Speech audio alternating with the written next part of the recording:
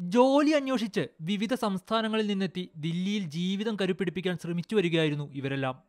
നിലച്ചിരിക്കാതെ കോവിഡും പിന്നാലെ ലോക്ക്ഡൌണും വന്നതോടെ കാര്യങ്ങൾ കൈവിട്ടുപോയി. ജോലിയും വരുമാനവും നിലച്ചതോടെ സാമൂഹിക അടുക്കളയിൽ നിന്ന് വല്ലപ്പോഴും കിട്ടുന്ന ഭക്ഷണം മാത്രമാണ് ആശ്രയം.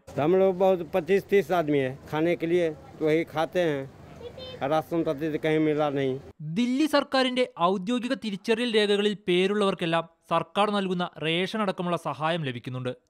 എന്നാൽ മറ്റു സംസ്ഥാനങ്ങളിൽ നിന്നുള്ളവരായതുകൊണ്ട് ആനുകൂല്യങ്ങളൊന്നും ഇവർക്ക് കിട്ടുന്നില്ല എങ്ങനെയെങ്കിലും നാട്ടിലേക്ക് മടങ്ങാമെന്ന് വെച്ചാൽ അവിടെയും ജീവിക്കാൻ മാർഗമില്ലെന്ന് ഇവർ പറയുന്നു बस में कंडक्टरी करते थे हमारे घर नहीं हमारे घर वाले तो अब वो भी नहीं रहा पैसा वही एक महीने के दिए अभी तक पैसे भी नहीं दिए ना आधार कार्ड है ना राशन कार्ड है कुछ भी नहीं है സാമൂഹിക അടുക്കളകളിൽ നിന്നുള്ള ഭക്ഷണം എപ്പോഴും ലഭ്യമാവുന്നില്ല എന്നിവർ പറയുന്നു ചില അയൽക്കാർ നൽകുന്ന സഹായം കൊണ്ടാണ് പലപ്പോഴും വിശപ്പടക്കുന്നത് ദില്ലി സർക്കാർ നൽകുന്ന റേഷൻ അടക്കമുള്ള സഹായം ലഭ്യമാക്കണമെന്നാണ് ഇവരുടെ ആവശ്യം.